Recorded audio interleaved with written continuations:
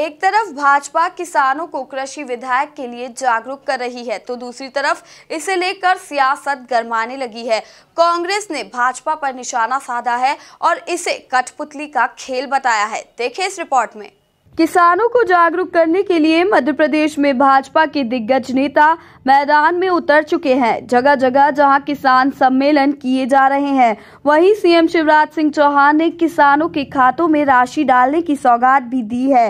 इससे लेकर कांग्रेस नेता भी सक्रिय हुए हैं और भाजपा पर निशाना साध रहे हैं और ट्वीट भी कर रहे हैं।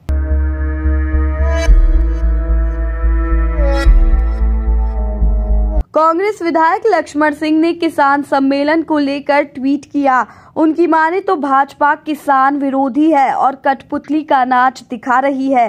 किसान बिल में दम होता तो लाखों किसान सड़क पर नहीं उतरते। देखिए, ऐसा है कि मैंने आज ट्वीट भी किया है कि जब आईटी का युग नहीं था तो ये कठपुतली का नाच एक आदमी कराता था। उसके डोर सब हाथ में होती थी और नाच कराता था। तो ये जो आंदोलन हो रहा है भारतीय जनता पार्टी का, किसान बिल के समर्थन में जो एक्चुअली किसान विरोधी है, ये वही है कठपुतली का नाच, एक आदमी के हाथ में डोर है ये लोग सब।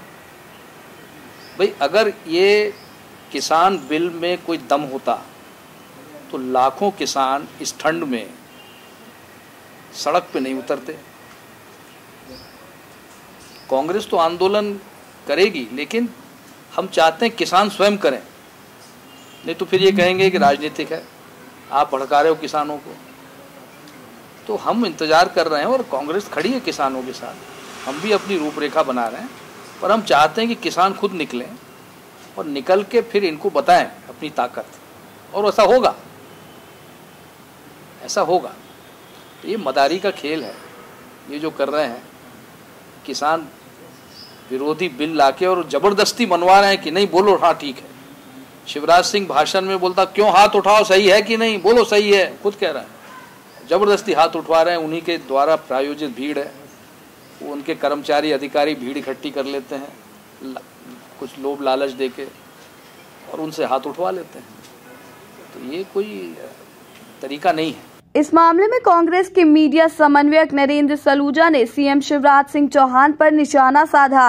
सीएम द्वारा किसानों को राशि बांटने के मामले में कहा कि सीएम किसानों के खातों में इतने रुपए डाल चुके हैं कि किसानों को अडारी अंबानी के पास बंगला लेना चाहिए, जबकि स्थिति कुछ और ही है। वह किसानों के पास पैसे नहीं है। शिवराज जी रोज करोड़ों की बात करते हैं किसानों के खातों में।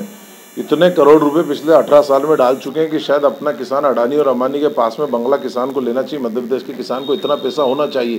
पैंतीस हज़ार करोड़, बीस हज़ार करोड़, पचास हज़ार करोड़, करोड़ों से नीचे बात ही नहीं करते।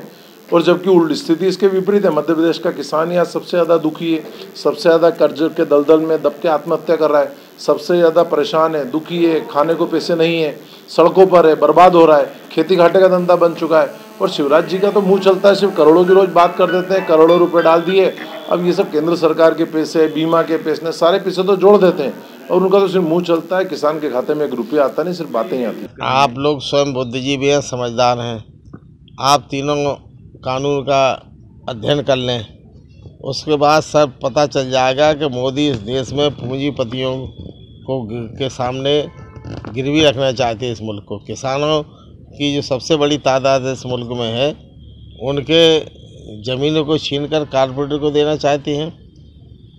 आवश्यक वस्तु अधिनियम में संशोधन करके जमाखोरी को बढ़ावा दे, देने का काम किया है और किसानों को बर्बाद किया है। पूरे विश्व में इस व्यवस्था में फ्रांस में आज केवल तीन परसेंट किसान बचा है। अमेरिका में केवल दो प्रतिशत किसान शेष रह गए इन्हीं कानूनों के तहत।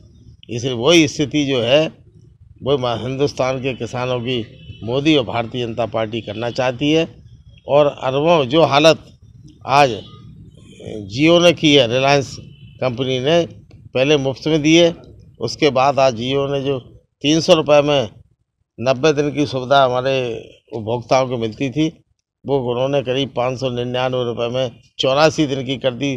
दुगना वसूल कर रहे सब कंपनियाँ घाटे में चली गई, कर्जे में डूब गई।